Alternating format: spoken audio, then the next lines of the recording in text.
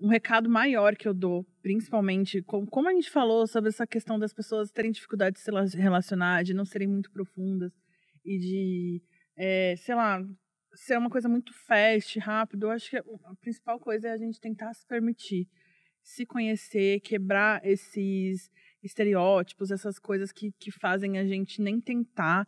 Então, ai, entra, entra no Tinder, faz o seu perfil, sabe? Se permita conhecer pessoas, se permita é, sair com pessoas, sair da sua bolha. Quando você sai da, nossa, da sua bolha é incrível. Quando você conhece pessoas também que são diferentes, isso agrega crescimento é, pessoal para você também. Então, é, é muito sobre isso, sabe? Tipo, a gente ter essa atitude e, e poder quebrar, quebrar essas barreiras e, e se sentir, se permitir sentir coisas por todos. Assim. Experimentem a vida, vivam a vida com tudo que ela tem a oferecer. Carpe diem. Carpe diem.